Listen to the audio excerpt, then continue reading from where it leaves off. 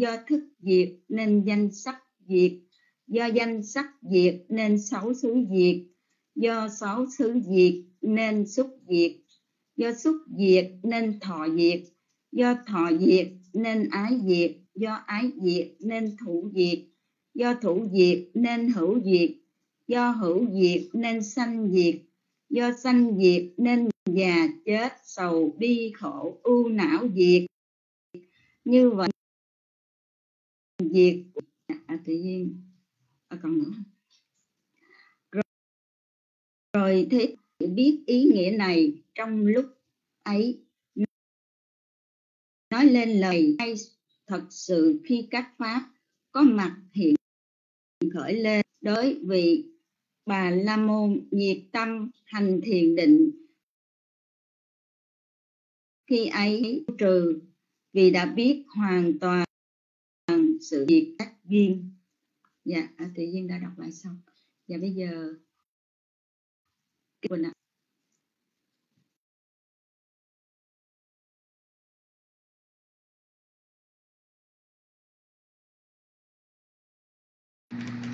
Dạ sa thú sa thú. Kính cảm ơn cô tu nữ tại duyên. Dạ cảm ơn Sếp Ràng Rồng.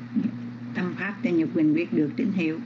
Nam Mô Bích Hai Giá, Con thành kính đảnh lễ, Thượng tọa Pháp Tân Cùng chư Tôn Đức vừa quan tâm vào đạo tràng, Nhật Quỳnh kính lễ quý bà quý cô tu nữ.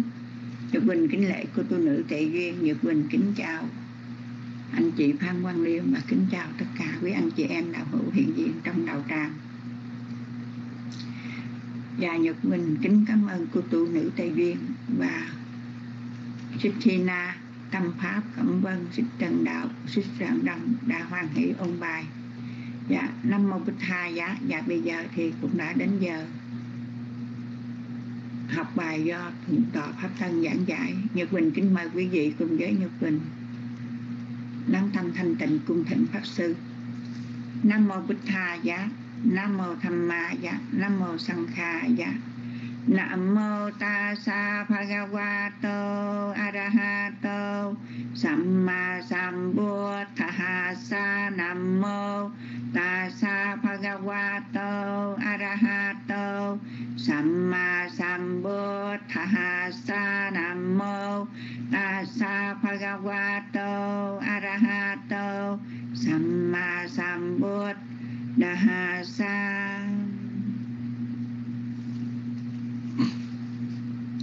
Phạm Thiên vận ngầm người khẩn khoản, Phật nhận lời nhưng chẳng nhị hơi. Biết lòng mở đạo dạy đời, Nhắm vương lộc cha Ngài dời chân sang. Thuyết pháp đỡ các hàng đệ tử, Có năm thầy thính dự pháp từ. Đó là nhóm kiều trận như, được nương diệu dư niết bàn rồi từ đó mở mang giao pháp ma bốn mươi lăm hạ giác vẹn tầm một lòng trăng thối không mòn những điều lợi ích hằng còn lâu năm, ca tam dời thừa ăn phổ cập đang mưa lành rưỡi khắp thế gian. Bởi nhân cơ tính rõ ràng thịnh ngài thuyết pháp nói đàn tự bi chúng sanh ngồi gặp chúng ni tối mê cầu được, tri tri vẹn toàn. Năm mô bích tha dạ dạ trước khi con thỉnh nha thượng tọa pháp tân nên giảng dạy bài học ngày hôm nay. Dạ con xin được đọc phần chánh văn. Dạ cảm ơn trích rằng cha như bình bài học. Tiểu bộ y tí bút tất cá kinh phật tự thuyết, chương một, phẩm bồ đề. Bài một la mã. Như vậy tôi nghe, một thời Thế Tôn ở Uruvela trên bờ sông Neran Chara dưới gốc cây bồ đề khi mới chứng chánh đẳng giác. Lúc bấy giờ, Thế Tôn trong bảy ngày ngồi trong một thế ngồi kiết già, thờ hưởng lạc giải thoát. Rồi Thế Tôn sau bảy ngày ấy ra khỏi định ấy, trong đêm canh thứ nhất, khéo thuận treo chiều, tác ý lý duyên khởi, cho cái này có mặt, cái kia hiện hữu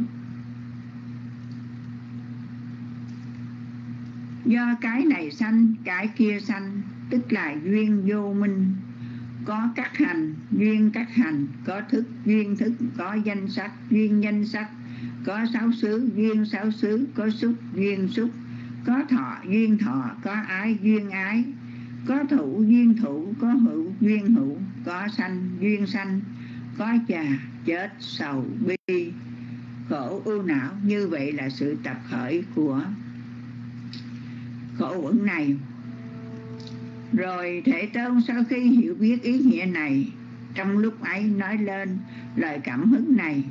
Một, thật sự khi các pháp có mặt hiện khởi lên đối vị bà La Môn Diệt tâm thành thiền định Khi ấy với vị ấy các di hoạch tiêu trừ Vì quản tri hoàn toàn Pháp cùng với các nhân. Hai La Mã như vậy nó nghe, một thời Thế Tôn ở tại Uruvela trên bờ sông Neranchara dưới gốc cây bồ đề khi mới chức chánh đẳng giác. Lúc bấy giờ, Thế Tôn trong bảy ngày ngồi trong một thế ngồi kiết già thọ hưởng lạc giải thoát.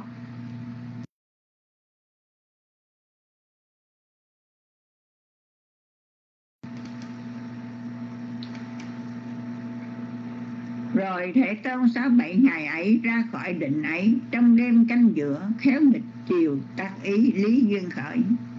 Do cái này không có mặt, cái kia không hiện hữu. Do cái này diệt, cái kia diệt.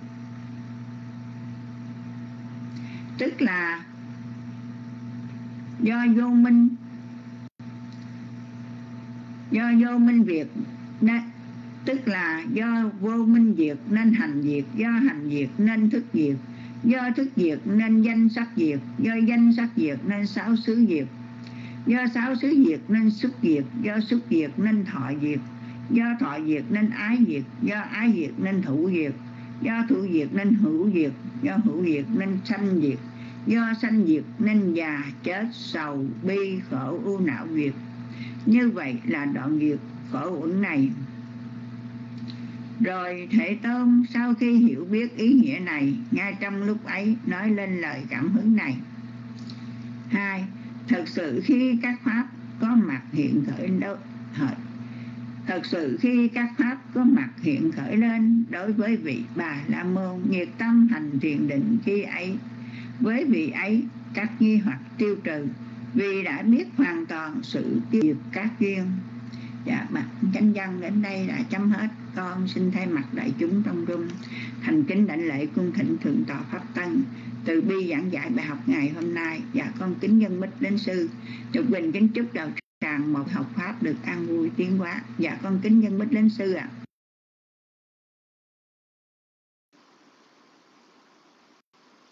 Dạ mô Bụt Thầy dạ, Nam mô Tham Ma dạ, Nam mô sanh Thầy dạ. Con xin thành kính đảnh lễ ờ, ân ơn Đức Tam Bảo ờ, Đức Phật giáo pháp và chư tăng. Kính ờ, chào tất cả minh hành chào đại đức Tề Đức. Chào cô tôn nữ Tề Duyên cùng quý cô tu nữ. Thân chào quý Phật tử. Yeah, cảm ơn vì cho biết đã nghe rõ.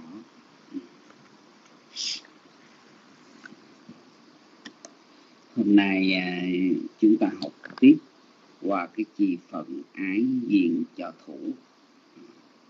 À, như chúng ta biết là thọ thì nó làm duyên cho ái sanh khởi. Thọ nó làm duyên cho ái sanh khởi.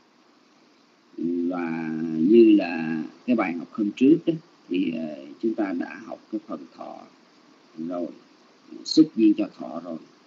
Thì hôm nay nó là chúng ta học qua cái phần ái thì duyên cho thủ thọ thì duyên cho ái. À, vừa rồi thì cũng đã có nói. À, bài học trước đó thì cũng đã có nói rồi. À, thọ thì à, sẽ là duyên cho ái. Thì hôm nay đó là chúng ta học phần ái thì duyên cho thủ. Ái duyên cho thủ.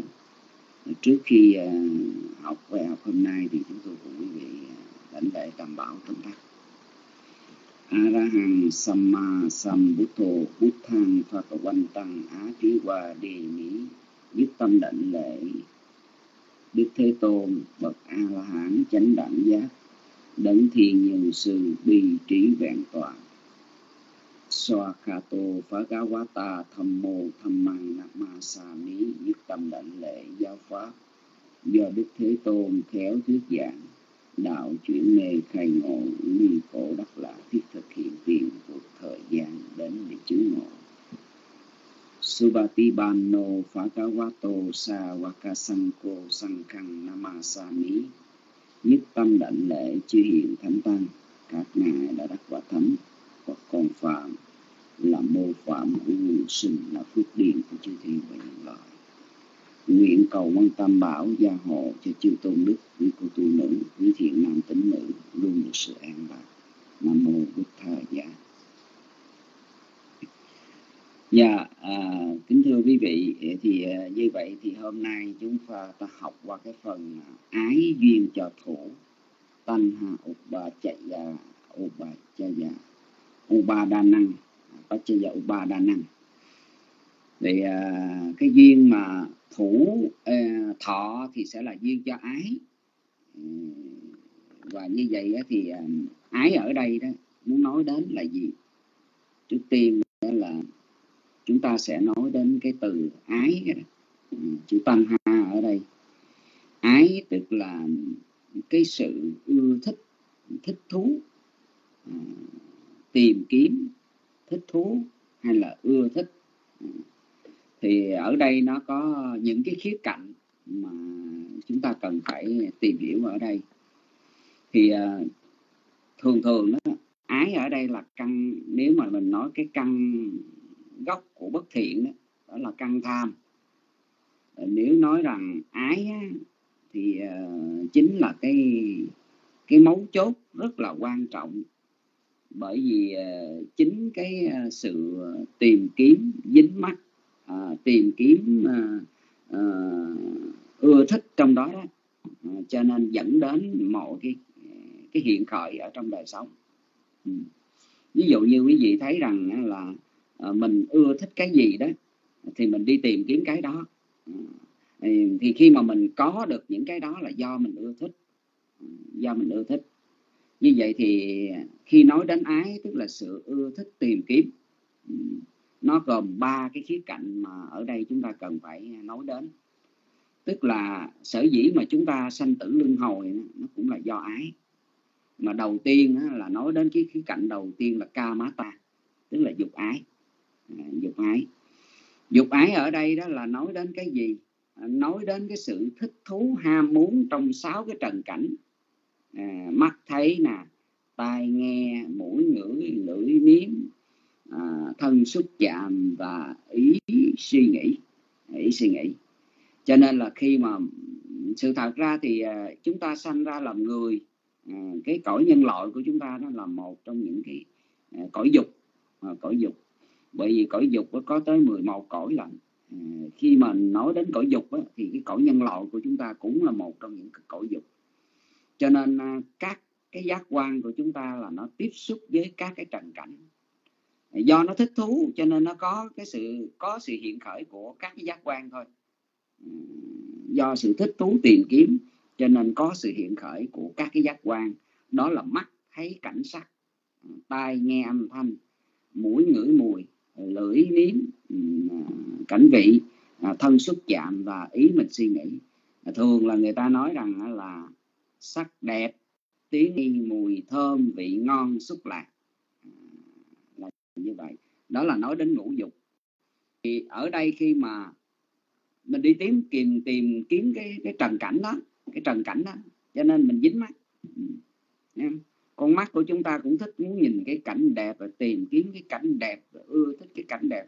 Cho nên chúng ta có con mắt để mà nó tiếp xúc với cảnh sắc mà thôi. Ừ. Cho nên là con mắt của chúng ta là thích ừ, thấy cái cảnh sắc, thích nhìn cái cảnh sắc. Mà cảnh sắc ở đây là cảnh sắc đẹp cho nên đẹp ở cái ví dụ nhìn người cũng thấy đẹp rồi nhìn à, nhìn cây cối hoa lá chúng ta cũng nhận thức đó là đẹp. À, có nhiều người đó chúng ta thấy rằng đó là à, người ta chỉ cần nhìn cái cảnh phong cảnh xung quanh thì người ta cảm thấy nó vui rồi. Nó vui rồi. Là vì sao? Người ta thỏa thích ở trong cái cái, cái mắt nhìn. À, con mắt của chúng ta nó nhìn à, cái người đó họ thích nhìn cái cảnh cảnh sắc nó đẹp. Hoặc là thích người thích nhìn cái người này người kia à, người khác phái ví dụ vậy. Thì chúng ta cho rằng nó đẹp mà. À, cho nó đẹp cho nên là chúng ta tìm kiếm thích thú à, đắm nhiễm ở trong đó. Vì vậy cho nên ở đây con mắt của chúng ta thấy thích nhìn cái cảnh sắc. À, cảnh sắc đó là cảnh sắc mà ta gọi là mà trong kinh gọi đó là là gì? Là khả ái khả lạc khả hỷ đó. À, khả ái khả lạc khả hỷ. Tức là mình thấy mình thấy tinh thú rồi mình thấy nó vui thích rồi mình thấy mình thỏa mãn ở trong cái cái, cái con mắt mình nhìn. Rồi giờ cái tai của chúng ta cũng vậy. Sở dĩ chúng ta có tai là để đáp ứng nghe cái cảnh thinh thôi. Mình để ý một điều đó là các cái vị phạm thiên á người ta có nhãn căn à, người ta có nhĩ căn à, thì cái chuyện đó là chuyện bình thường.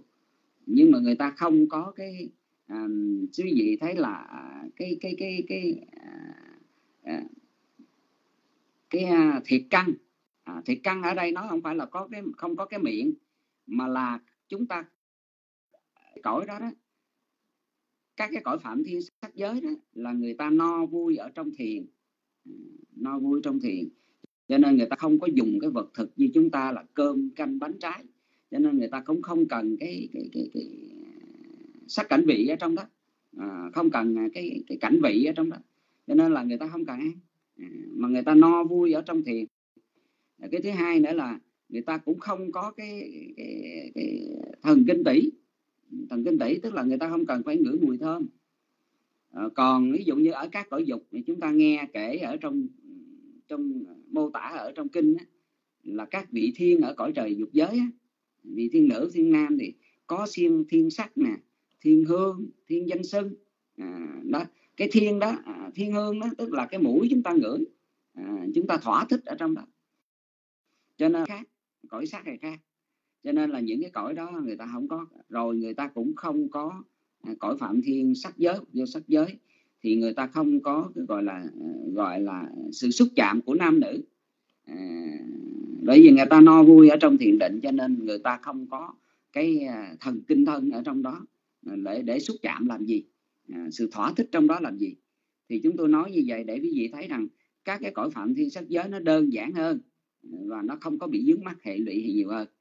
Rồi phạm thiên vô sắc cũng vậy càng không có sắc thì nó lại là càng uh, gọi là nó đơn giản hơn và nó không có bị hệ lụy cột trói nhiều.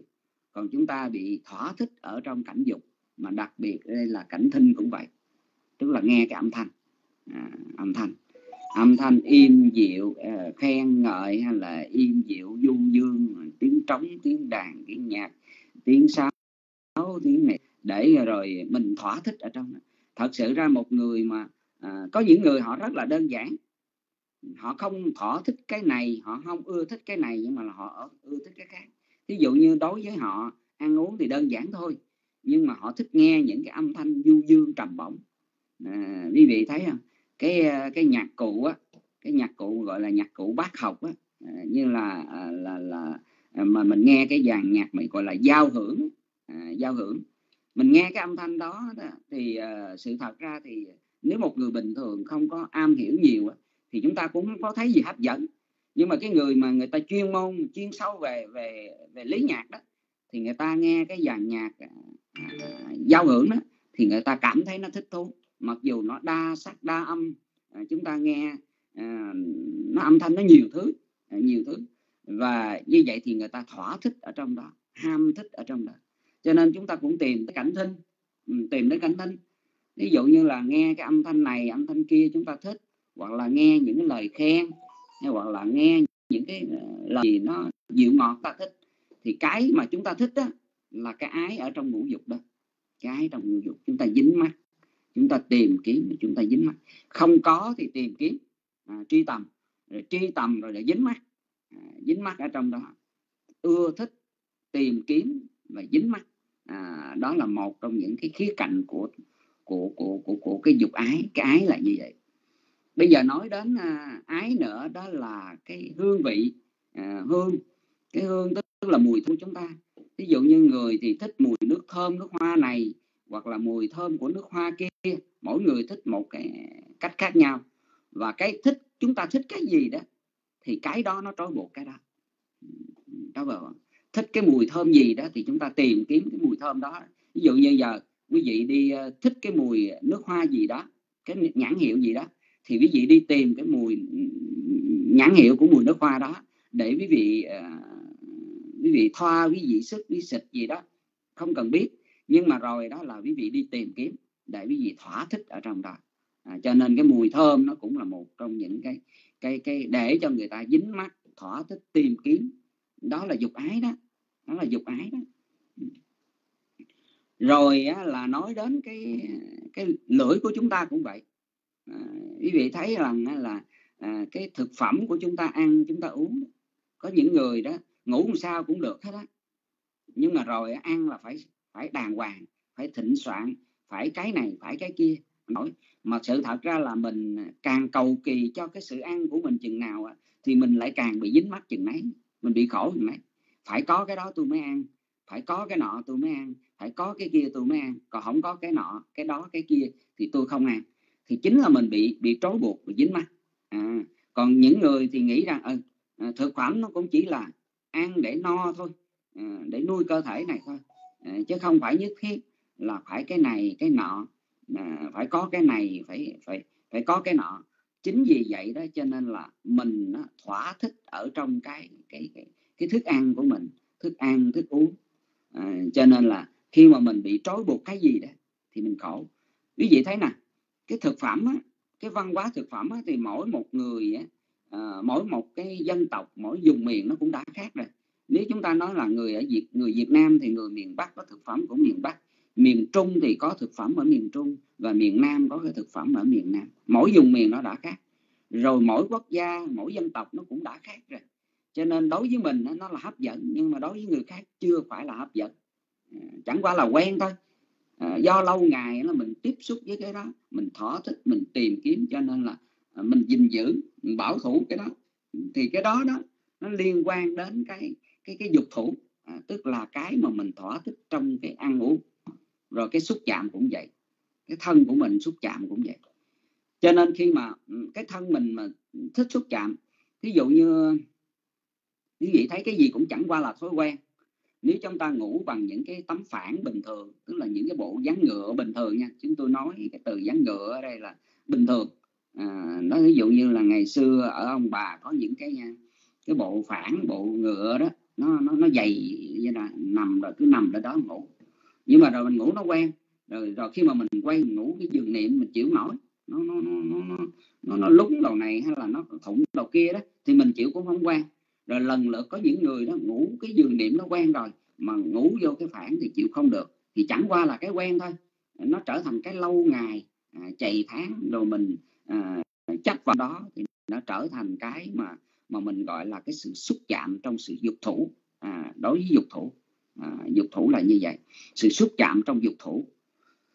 Thì à, ở đây đó thì à, quý vị thấy rằng à, ngay cả cái à, sắc tinh hương vị xúc đó thì à, chúng ta nghĩ rằng có một cái gì đó nó nó nó nó, nó thường nó nó thường hàng nó thường hàng bởi vì ngay cả cái xúc chạm cái mắt thấy tai nghe mũi ngửi lưỡi nếm thân xúc chạm mà chúng ta cứ nghĩ rằng ừ tôi xúc chạm nó thường hàng nó thường xuyên như vậy à, thường thường còn như vậy. Nhưng mà quý vị thấy nè các căn chúng ta tiếp xúc với các trần á, nó cũng chỉ chẳng qua là sự sự giao thoa giữa căn và cảnh thôi. À, do có xúc cho nên là có thọ và do có thọ cho nên là sẽ là duyên sẽ là do có ờ, duyên cho ái. Ừ, cho nên là ở đây đó là quê đó napachayam ha. À, đó là như vậy. Thì khi mà mình nói đến dục ái tức là sự thỏa tìm kiếm dính mắt ở trong cái à, cái cái cái năm ngũ dục ngũ dục của chúng ta tức là sắc thinh hương vị xúc. Cho nên các cái cõi phạm thiên sắc và vô sắc á, thì người ta không có dính mắt trong cái dục.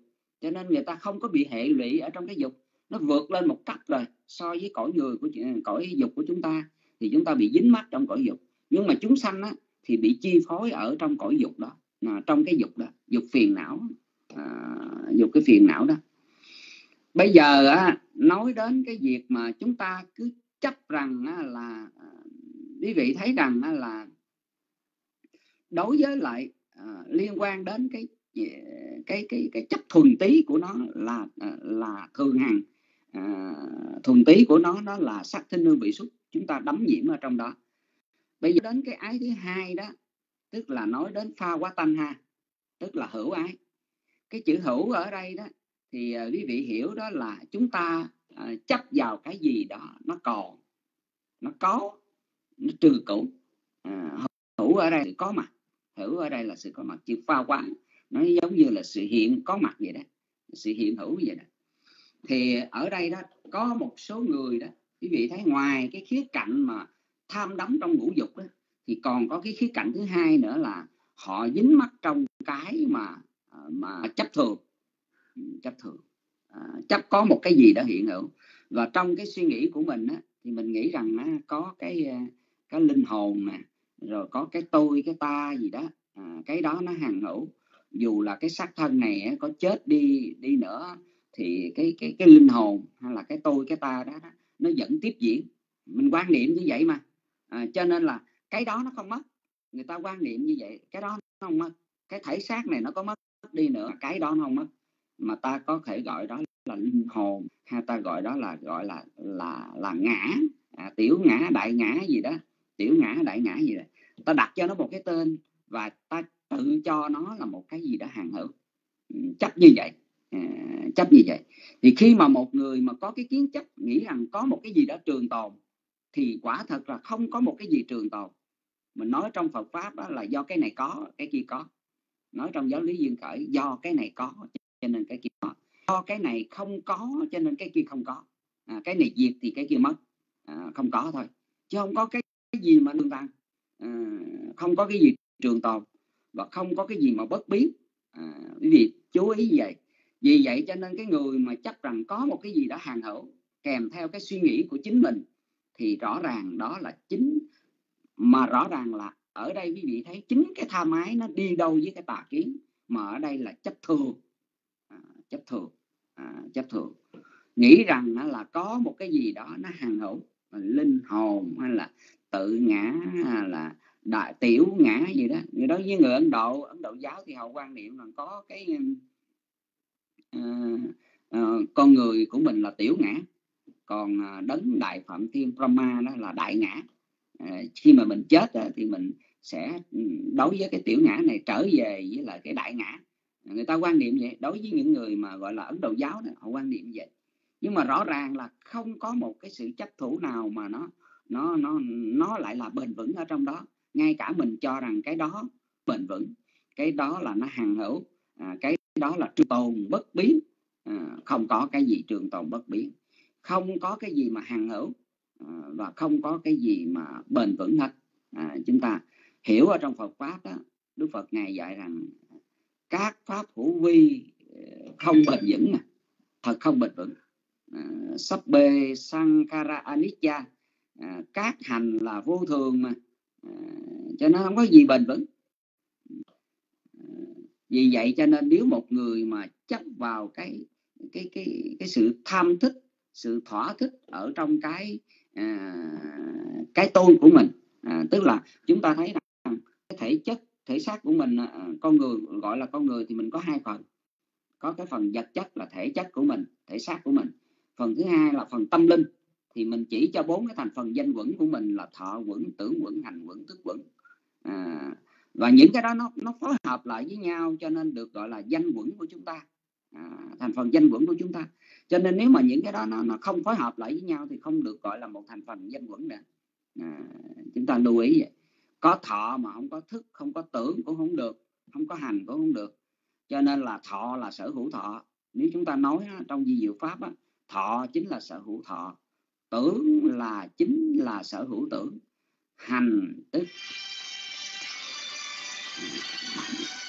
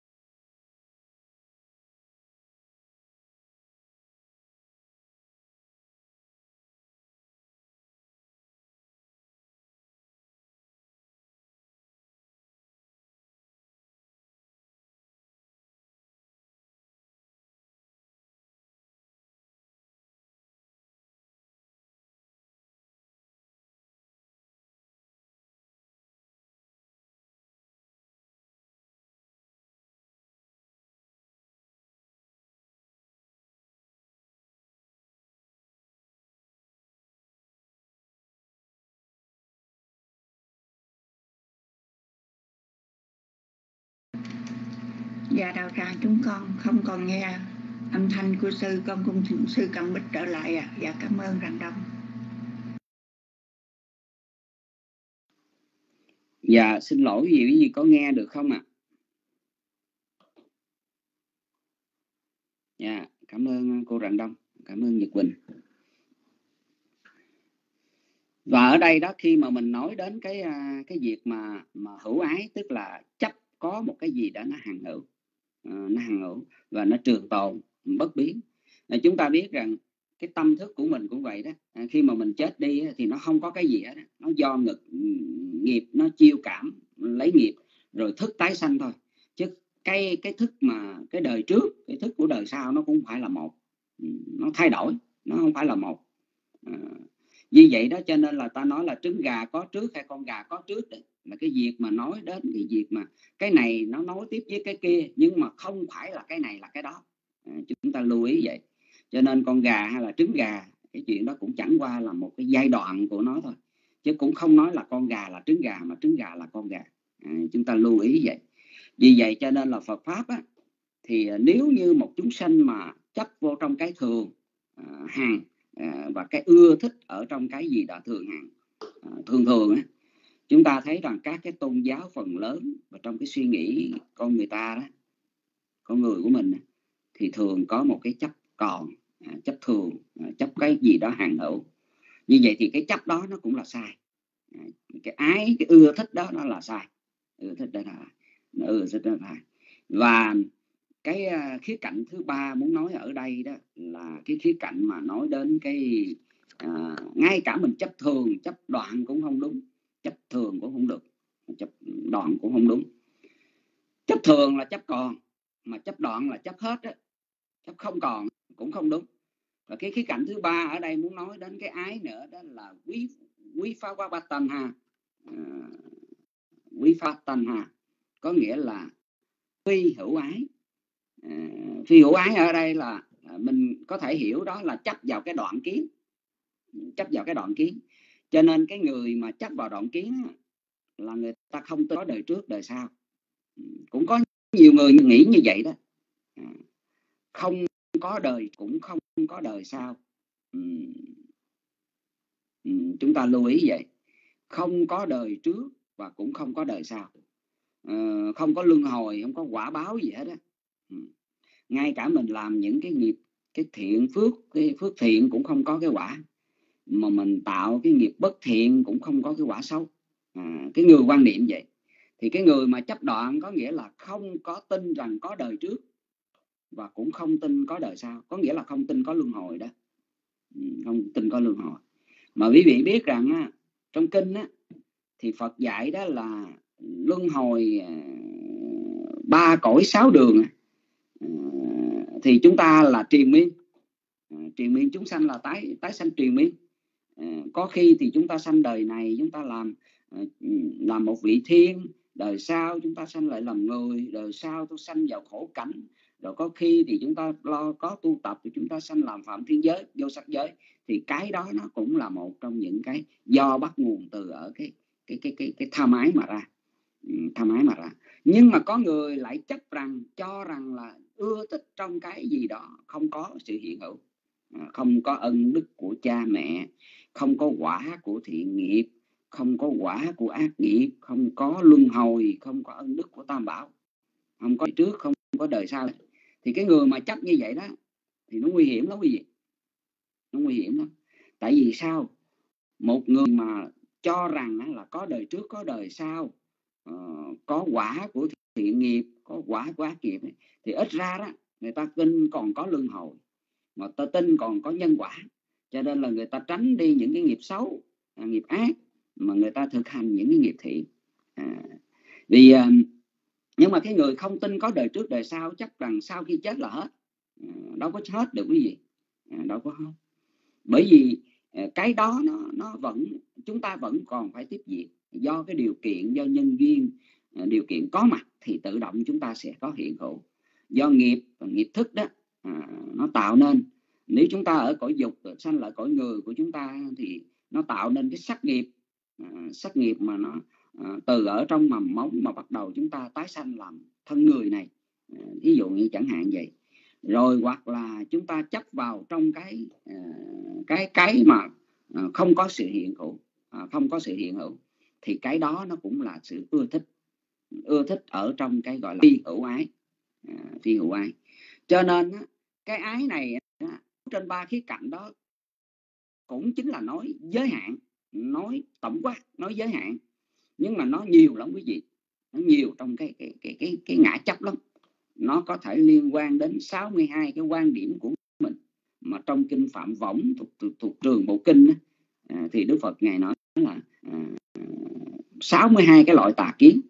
Mà 62 loại tà kiến này đó thì nó giống như là cái lưới vậy quý vị. Nhà giống như cái lưới vậy đó nó nó văng à, nó văng ra. Thì dù là cái con này con kia con cua con cá con à, này con kia mà nó lọt vô cái lưới là đều bị văng dính hết. Thì chúng ta biết rằng à, đối với chúng sanh phàm phu thì thường là dễ bị rơi vào trong những cái tình trạng như vậy gọi là 62 cái loại tà kiến. Mà ở đây đó khi mà nói đến ái á, thì nãy đã nói chúng ta tham đắm ở trong ngũ dục cũng là dục ái chúng ta tham đắm ở trong cái chấp thường cũng là hữu ái. Chúng ta tham đắm mà thích thú ở trong cái chấp đoạn tức là chấp hết đó, thì cũng được là gọi là phi hữu ái. Thì cái ái đó đó chính cái ái đó cái ưa thích đó nó sẽ làm duyên cho sự chấp thủ của mình. Mà ở đây đó là tan ha pachaya upadanang phawati phawati tí à, sam sam sam phawa, uh, à, sam phawati thì ở đây có thể nói là chữ chữ upadanang ở đây upadana ở đây tức là sự chấp thủ. À, sự chấp thủ. Ôm á. Chúng ta thấy cái hình hình ảnh mà cái từ ái á, thì là à, biểu hành biểu hiện của một cái người nam người nữ ngồi gần nhau. Đó là ái sự ưa thích à, sự xúc chạm. Nhưng mà thủ á, thì lại là một cái hình ảnh của một cái người à, một cái người đàn ông đi bẻ trái cây mặc dù là à, trong vỏ của mình đã bỏ đầy trái cây vậy nhưng mà mình vẫn bẻ để bỏ vô. À, bẻ để bỏ vô. Sự chấp thủ lại cho nên sự chấp thủ nó không bao giờ mà nó thấy đủ. À, cả ở trong cái bốn cái khía cạnh mà ở đây chúng tôi muốn, muốn trình bày. Như vậy thủ đó tức là sự ôm ấp à, gìn giữ không buông bỏ. À, ái nó là sự tìm kiếm dính mắt nhưng mà sự chấp thủ là không buông bỏ. Ừ, không buông bỏ. Ừ. Vì vậy cho nên là sự không buông bỏ ở đây đó là tỷ cho cái, à, cái sự chấp thủ của chính mình. Ở trong à, uh, Chataka có nhắc đến một cái câu chuyện mà nói đến sự chấp thủ. Mà chắc có lẽ là tôi chúng tôi cũng có nhiều lần để nói rồi. À, hôm nay thì cũng nói lại không biết là quý phật tử có nghe à, lần nào chưa nhưng mà cũng nói lại có một cái câu chuyện nhắc lại như thế này. Tức là à, hai vợ chồng ừ, từ thời xưa đó có hai vợ chồng ừ, và chỉ chuyên đi làm cái nghề gánh nước mướn à, gánh nước mướn mà thôi. Tức là gánh nước mướn. À, một ngày là ông chủ chỉ cho được có một đồng tiền vàng thôi. À, hai vợ chồng gánh nước mướn mà chỉ cực lực lắm à, cực lực lắm làm rất là siêng năng mà mà gánh suốt cả cả ngày như vậy đó mà ông chủ chỉ cho được có một đồng tiền vàng. Và sau cái buổi gánh nước mà buổi chiều trở về đó một buổi làm lụng vất vả vậy đó một ngày làm vất vả vậy đó thì cái ông cái người đàn ông đó uh, mới là đi đến cửa đông thành á à, để mà để mà mà mà mà, mà à, bươi cái viên gạch của cái vách thành á cái cửa thành á, để bỏ cái đồng tiền mình vô trong cái cái cái, cái, cái vách thành đó để giấu cất ở trong giấu trong. Thì uh, một hôm á thì cũng sau cái buổi chiều vậy là gánh nước đức vua thì ngồi ở trên cái uh, lâu đài cao nhìn thấy nhìn thấy uh, tại sao uh, hai vợ chồng nước cực vậy đó chiều được đồng tiền như lương thưởng vậy đó thì uh, chạy lại cửa đông thành đó là uh, nhét cái đồng tiền của mình vô trong cái đống gạch đó cất giấu ở trong. Mà cứ chiều nào cũng vậy, sau khi gánh rồi đó, là cái tiền công của ông ta đó, là ông ta đem nhét cái đồng tiền, được một đồng tiền vàng, nhét vô cái cái đống gạch đó à, để mà à, để dành để dành nó như là để dành thì à, đức vua mới thấy vậy. Mới bữa đó sáng hôm sau, đức vua cũng thấy làm vài ngày vậy, thì sáng hôm sau vua mới kêu cái người đàn ông đó lại vua nói thôi bây giờ ông à, đừng có gánh nước. Hai vợ chồng ông thấy làm lụng cực khổ quá. Ờ, đừng có gánh nước nướng nữa. Đừng có gánh nước nướng nữa. Mà mà mà đừng có gánh nữa thì ta sẽ cho nhiều cái châu báu vàng và châu báu. Thì cái người đàn ông này nó không không được.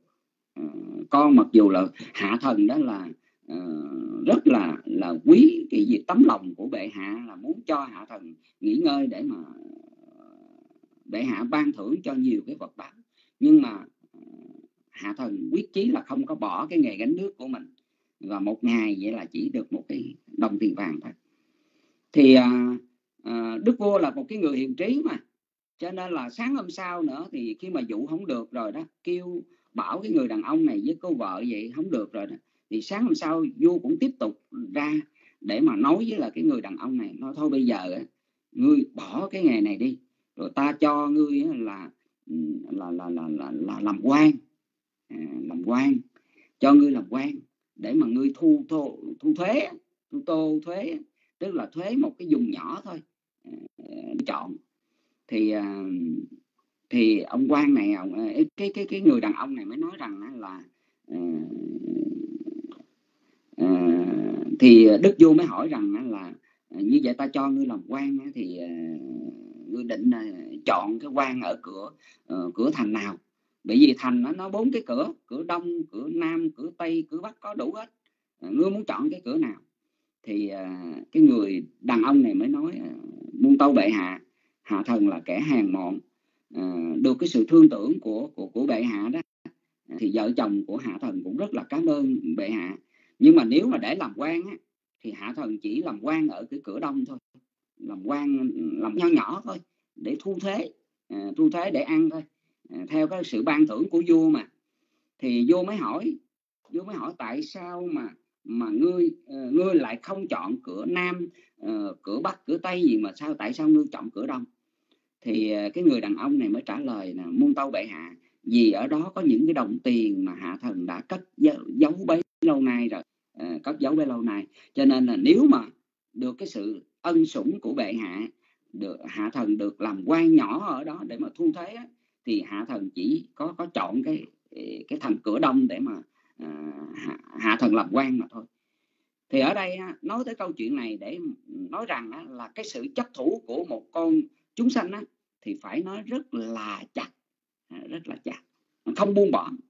Thí dụ bây giờ đó là vua đã nói rằng là thôi bây giờ bỏ cái nghề gánh nước đi mà vua ban cho lụa là ngọc ngà châu báu để mà sống thôi cũng không chịu. À, bởi vì cái nghề gánh nước của mình đã bấy lâu nay đã đi theo với mình rồi bây giờ mình bỏ không được mình bỏ không được. Rồi cuối cùng vua mới dẫn dụ rằng là thôi bây giờ là nghĩ bỏ cái nghề gánh nước đi rồi hạ thần à, vua sẽ ban cho một cái chức quan nho nhỏ để mà thu thuế nhưng mà rồi đó thì cũng là chọn cái chỗ thu thuế là cửa thành ở hướng đông mà thôi. Bởi vì sao? Cửa thành hướng đông ở có, có ở đó có những cái đồng tiền mà cái người đàn ông này đã cất giấu từ bao lấy lâu nay. Thì ở đây nói đến cái sự chấp thủ là như vậy sự chấp thủ là như vậy. Cái đầu tiên á, là nói đến chấp thủ là dục thủ tức là khi nãy nó đã nói là có dục ái thì ở đây có cái sự chấp thủ. Tức là chúng ta ôm ấp dính giữ ờ, ở trong cái sự chấp thủ ở trong cái mắt thấy tay nghe mũi ngửi lưỡi nếm thân xúc chạm của mình mình ưa thích ở trong đó mình chấp giữ. Nó là tôi nè tôi yêu tôi thương tôi thích tôi cái này tôi cái kia cái này là của tôi cái kia là của tôi cái nọ là của tôi vân vân. Khi mà mình chấp như vậy là chấp liên quan đến cái dục thủ à, liên quan đến cái dục thủ tức là à, mắt thấy tai nghe mũi ngửi lưỡi nếm thân xúc chạm hay là nói là sắc đẹp tiếng hay mùi thơm vị ngon xúc lạc mình dính mắt ở trong đó. Không buông bỏ ôm ấp không buông bỏ. Đối với năm trần cảnh thì cái đó nó liên quan đến cái dục thủ à, dục thủ cái thứ hai nữa đó là liên quan đến cái kiến thủ uh, Ditto Badana ừ, ở đây đó là chỉ cho cái cái sự quan điểm chấp sai của chính mình quan kiến chấp sai của chính mình à, quan kiến chấp sai của mình. Mà chấp sai ở đây đó là à, quý vị thấy rằng là như chúng tôi đã nói trong kinh phạm võng có nói 62 62 ừ, quan điểm mà họ, nếu như mà mình phải là nếu không phải là Đức Phật thì Đức Phật không giải được ờ, người khác thì không thể nào giải được 62 cái quan điểm đó. Mà trong kinh Phạm Võng á, thì Đức Phật ngài giải thích 62 cái ờ, cái quan kiến đó mà cái quan kiến đó nó đều là cái sai hết mà trong kinh Phạm Võng thì dí giống như là một cái cái cái lưới vậy đó. À, cái lưới. Thì con cái lưới mà nó nó văng ra rồi thì con con cá con tôm con rùa con gì ở dưới dòng sông dưới dòng nước á, thì nó đều bị bắt hết á. thì ở đây cái kiến thủ á, là cái quan kiến sai lầm uh, của mình chắc một trong 62 cái loại tà kiến đó. À, uh, 62 loại tà kiến. Thì như vậy thì trong đó có thường kiến đoạn kiến Ờ, vô nhân kiến vô hữu kiến vô định kiến vân vân. Thì đều là là vô hữu kiến à, vô hành kiến à, vân vân. Thì cái chấp đó đều là cái chấp sai lầm hết. Ừ, chấp sai lầm. Ừ, chấp sai lầm. Cái kiến thủ là đi với cái quan điểm sai của chính mình mà cái người đó đó họ không nhận ra. Ờ, chúng sanh đó họ không nhận ra. Cho nên là quý vị thấy rằng là nhiều khi á, chúng ta thấy rằng là một khi là đã có một cái kiến chấp sai lầm rồi à, cái sai lầm rồi thì à, ví dụ như mình nói là cái gì mà nó hợp với mình là đúng còn cái gì mà nó không hợp với mình là sai à, nó cũng không đúng. Rồi nó cũng là do cái cái truyền thống từ bấy lâu nay nữa à, quý vị thấy không? Mình đi theo một cái cái pháp môn nào hay là đi theo cái đường hướng tu học nào đó mình cho là cái đường hướng tu học đó là nhất rồi đó thì nó cũng là một cái nguy hại bởi vì nó không có cái căn cứ gì hết à, rồi cái truyền thống mà ông bà xưa kia cái người xưa kia có những cái truyền thống mà nó sai lệch mà chúng ta vẫn là chấp giữ ở trong đó thì nó cũng là một trong những cái quan điểm à, sai lệch rất là nhiều à, sai lệch rất là nhiều. Khi nói đến cái kiến thủ tức là cái mà cái quan điểm quan à, cái cái quan kiến chấp sai lầm của mình à, mà ở đây đó là tiêu biểu nhất là chấp thường và chấp đoạn mà thôi chấp thường mà chấp đoạn.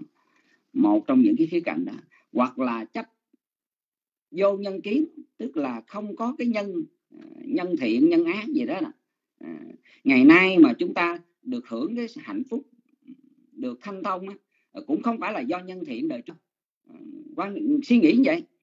Rồi ngày nay mà chúng ta gặp cái khổ đau đó cũng không phải là do nhân thiện đời trước. Do nhân thiện đời trước nhân ác đời trước. Quý vị thấy không? Cái người mà chấp như vậy đó là cái chấp sai lầm à, cái quan kiến sai lầm ở trong cái gọi là vô nhân kiến. Không có một cái hành động nào lại có những nhân tốt cũng không có cái hành động nào có những nhân xấu. Quan điểm như vậy là cái sai lệch cái quan điểm sai lệch à, rồi à, ngay cả chúng ta có hành động gì đi nữa hành động tu tập rồi hành động thiện hành động ác thì cũng không có cái quả báo gì hết.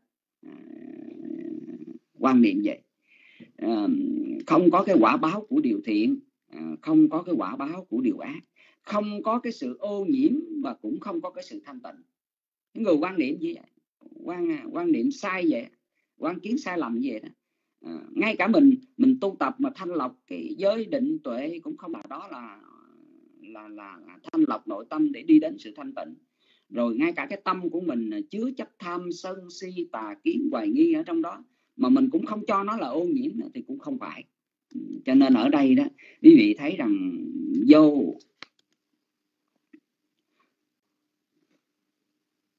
hành kiến à, vô hữu kiến và vô hành kiến ở đây, dù chúng ta có hành động như thế nào cũng không thanh tịnh. Có một số quan điểm là mình cứ luân hồi luân hồi từ kiếp này tới kiếp khác kiếp sau nữa đó, thì mình tự động thanh tịnh. Nó giống như cái cuồng chỉ mà xả ra hết rồi thì tự động hết thôi. À, thì à, cái quan điểm đó cũng cũng sai lệch luôn. À, sai lệch luôn. Bởi vì nếu chúng ta không tu tập bởi vì một người nếu hiểu trong Phật giáo chúng ta không làm các việc ác nhưng mà chúng ta phải làm các điều thiện chứ. Ừ, làm các điều thiện chứ. Bây giờ chúng ta không làm điều ác mà chúng ta không làm điều thiện nữa là cũng không đúng. Ừ. và cũng không có cái gì tự nhiên, mà tự, chúng ta tự thanh lọc lấy ừ, thanh lọc. Một người tu tập là tự thanh lọc. Phật dạy rồi, đó là không làm các việc ác gắn làm các việc lành, giữ tâm ý trong sạch. Đó là lời chư Phật. Ừ, Phật dạy vậy, lời chư Phật dạy cho nên là mình không làm việc ác là một khía cạnh à, một một phần. Nhưng mà mình phải thực hiện những việc lành.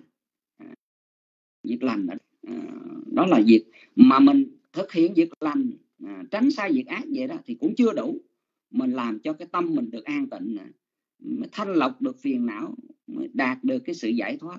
Thì đó là chính là cái cái điều mà à, nói là ở trong Phật pháp đó, là là là ái thì sẽ là duyên cho cho cái sự chấp thủ. Mà ở đây nói đến kiến thủ là như vậy kiến thủ là như vậy cái thứ ba nữa mà ở đây muốn nói tới tức là silaparama à, à, silapa à, tu ba đa có nghĩa là giới cấm thủ. À, thấy không? Quý vị thấy rằng có nhiều người á, à, cũng tu hành à, tu hành. Nhưng mà cái cái quan điểm tri kiến của mình nó không đúng đắn.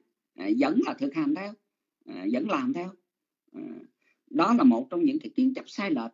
À, nghĩ rằng cái phương pháp tu hành đó là tốt. À, trong trung bộ kinh có nhắc đến cái hai cái nhân vật gọi là cu ngô hành giả và cẩu hành giả một người một người tu cái hạnh con chó à, và một người tu theo hạnh con bò. À, tức là con bò nó ăn ngủ uống nước làm sao nó sinh hoạt làm sao đó, thì mình bắt trước cái người đó bắt trước theo vậy rồi à, cái người kia à, ăn ngủ chó nó ăn ngủ làm sao á, thì cũng làm y chang vậy giống cái người đó. Thì khi mà gặp Phật á, hỏi Phật coi cái bao nhiêu năm mình tu hành cái thành quả của việc tu hành này nó có kết quả nó, nó mỹ mãn hay không? Hỏi lần thứ nhất lần gì lần thứ hai rồi lần à, lần thứ nhì lần thứ ba thì Đức Phật không trả lời.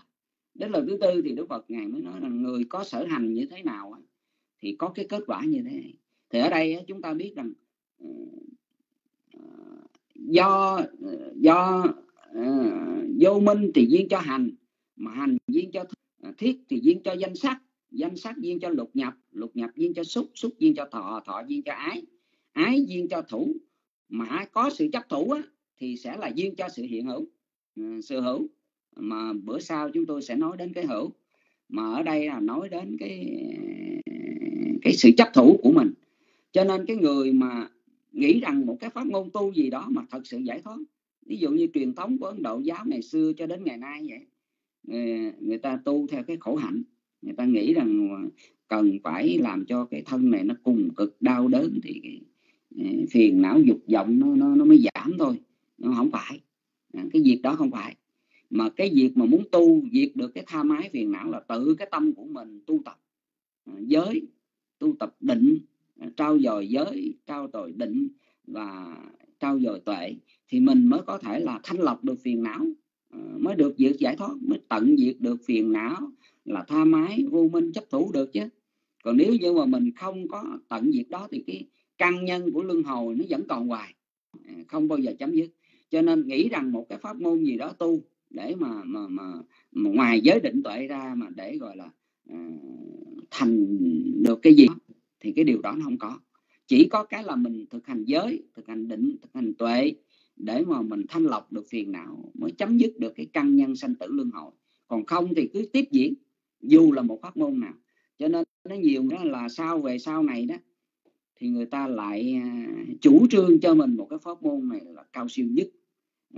Chỉ có môn rốt ráo nhất à, pháp môn này là mau lẹ nhất. À, xin thưa quý vị Ờ, không có pháp môn nào rốt ráo mau lẹ. Mà có cái là mình hành đúng hay không thôi. Nếu mà pháp môn nào cũng vậy, dù cho ờ, như Phật đã trả lời ở trong cái, trong kinh mà cho một vị bà la môn dù là dù là một một chủ thuyết à, nào hay là dù một pháp môn nào đi nữa, mà ở trong đó không có giới định tuệ như là Phật đã trả lời cho Chun Đá vậy đó. Ừ, à, à, à, dù là một pháp môn một chủ thuyết à, một cái phương hướng hành đạo nào đi nữa mà ở đó không có giới định tuệ thì không có bát không có bát chánh đạo ờ, không có bát chánh đạo thì không thể đạt được sự giải thoát. Đó là như vậy. Cho nên là uh, chúng ta có nói gì cái pháp môn này uh, cho nhiều đi nữa nhưng mà chúng ta thiếu đi giới định tuệ thì nhiều khi chúng ta cứ lầm tưởng rằng là là là chúng ta là cao siêu hơn đức phật. À, cao siêu hơn các bậc thánh. À, rồi chúng ta mới nói là ừ, cái này là pháp môn này là à, mau lẹ pháp môn này là giải thoát ờ, mau hay là pháp môn này là rốt ráo pháp môn này là cứu cánh thì cái đó là cái suy nghĩ của chính mình. Nhưng mà cái suy nghĩ của chính mình nó chưa phải là đúng suy nghĩ theo đại đa số quần chúng cũng chưa phải là đúng. Mà coi chúng ta cần phải đối chiếu với kinh so sánh với lực coi cái điều nào nó đúng với pháp mà khi chúng ta thực hành thì uh, uh, có được cái sự an vui ở trong đó thì đó là chánh pháp. Như Phật đã trả lời uh, cho cái việc mà ở trong kinh Karama đó Đức Phật đã trả lời vậy.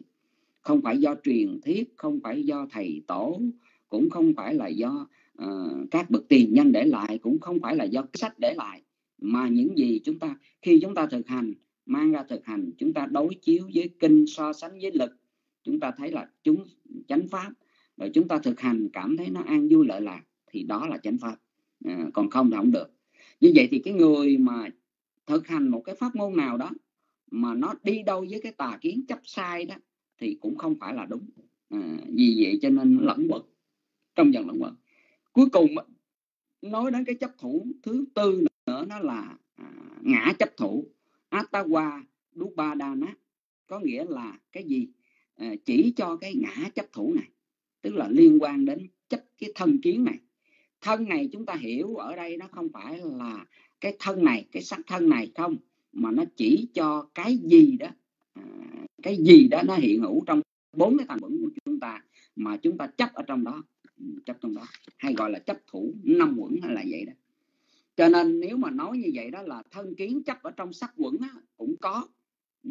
rồi thân kiến mà chấp trong thọ quẩn cũng có. À, thân kiến mà chấp ở trong cái tưởng quẩn cũng có. Và thân kiến mà chấp trong cái hành quẩn cũng có. Và thân kiến mà chấp trong cái thức quẩn cũng có. Như vậy thì à, chấp liên quan đến ngũ quẩn của mình sắc quẩn thọ quẩn tưởng quẩn hành quẩn thức quẩn. Có cái tôi ở trong ừ, cái tôi chữ át tá ở đó. À, có cái tôi trong đó. Cái tôi cái ta cái gì đó cái linh hồn cái tiểu ngã gì đó. À, trong cái nhận thức của mình trong cái suy tưởng của mình à, trong cái nhớ tưởng của mình hay là trong cái xúc chạm của mình. Qua mắt thấy tai nghe cũng vậy. Không có cái tôi trong đó mà các đều là do nhân duyên à, như vậy chúng ta thấy là do cái này có cho nên có cái kia. Ừ. Thí dụ như à, có à, xúc thì có thọ mà có thọ thì có à, ái ái thì có. À, đó là điều mà à, chúng ta hiểu là như vậy. Như vậy thì cái người chấp thủ ở trong năm quẩn à, đối với sắc quẩn thọ quẩn hành quẩn và thức quẩn bị cột chặt ở trong đó thì được gọi là sự chấp thủ. À, sự chấp thủ đối với năm quẩn. Cái khía cạnh mà thứ tư mà chúng tôi muốn nói ở đây tức là ngã chấp thủ. Cái ngã chấp thủ chấp cái tôi cái ta ở trong năm quẩn này. Cho nên nó nó thành bao nhiêu? Nó có thể trở thành 20 ờ, bốn bốn mà ờ, năm uh, nó thành 20 uh, đối là năm là năm quẩn bốn là bốn khía cạnh. À, tôi tự ngã của tôi của tôi hoặc là uh, của tôi hoặc là tự ngã của tôi tôi. À, trong đó cái khía cạnh đó đó là cái khía cạnh mà bị trói buộc. À, cho nên ở đây khi mà ái thì sẽ là duyên cho thọ. Cái gì thấy không? Ái thì sẽ là duyên cho thọ. Ái ở đây là ba cái khía cạnh muốn nói tức là dục ái hữu ái và phi hữu ái. Và khi có ái thì sẽ có đến cái sự chấp thủ liên quan đến dục thủ à, kiến thủ à, giới cấm thủ và ngã chấp thủ. Thủ ở đây là sự ôm ấp gìn giữ không buông bỏ. À, thủ là như vậy. Cho nên cái hình ảnh của một cái người đàn ông mà bẻ cái vỏ trái cây của mình mặc dù đã đầy tràn như vậy nhưng mà vẫn bẻ để bỏ vô. À, thủ thì nó cứ ôm ấp nó không buông bỏ là như vậy.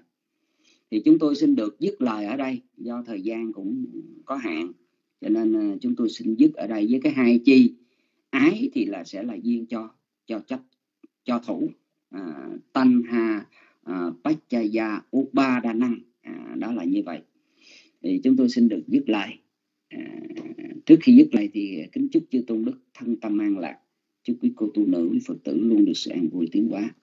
Nam mô bút tha giác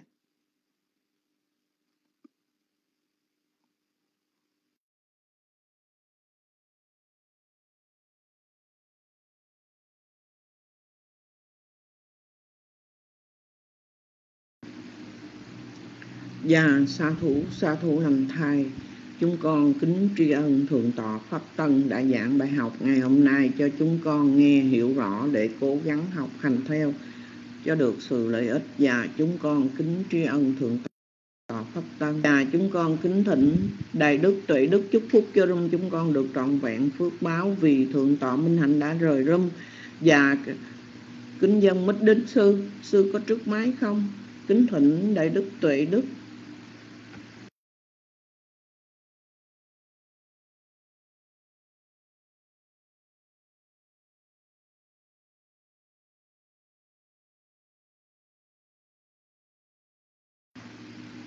Dạ, alo, alo. Dạ, Đại Đức, Tuệ Đức có chút máy không? Dạ, kính thỉnh Đại Đức, Tuệ Đức. Vậy là Đại Đức, Tuệ Đức không có chút máy rồi. Dạ. Dạ, chắc Đại Đức không có trước máy. Dạ, con kính thỉnh Thượng Tọa Pháp Tân chúc phúc cho rung chúng con được trọn vẹn phước báo, vì thượng tọa minh hạnh đã rời rung và con kính dân mít đến thượng tọa pháp tân và dạ, kính thỉnh sư.